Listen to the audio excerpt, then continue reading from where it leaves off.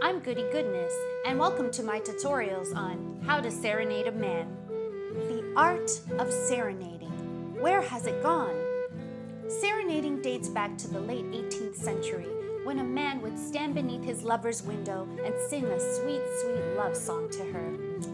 What a nice token of affection what a beautiful way to woo the woman that he loved. Of course, I'm pretty sure the main incentive was just to get in her pants, but at least he put some effort into it. I mean, now you're lucky if you get a wanna Netflix and chill or a late night text that says, You up? Well, it's 2020 and it's time to make a change in this world, and Goodie Goodness is gonna make it happen.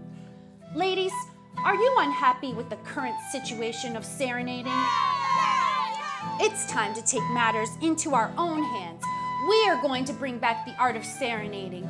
The women are now going to be the serenaders. And while we're at it, let's change the one night stand thing. Women don't want that. Women want Netflix and binge a series or two together kind of love.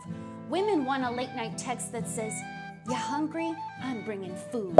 Women want to hear those magic words, I want to file joint taxes with you forever kind of love. In a world that's so cold and lonely, where there's so many problems and stresses, wouldn't it be nice to have a little love and a little serenading? So, women, pick up your instruments and join me in this serenading army. We are going to change the world, one Jon Secada song at a time. Hi, I'm Goodie Goodness, and I approve this message. Goodie Goodness, an advocate for using serenading to change the world.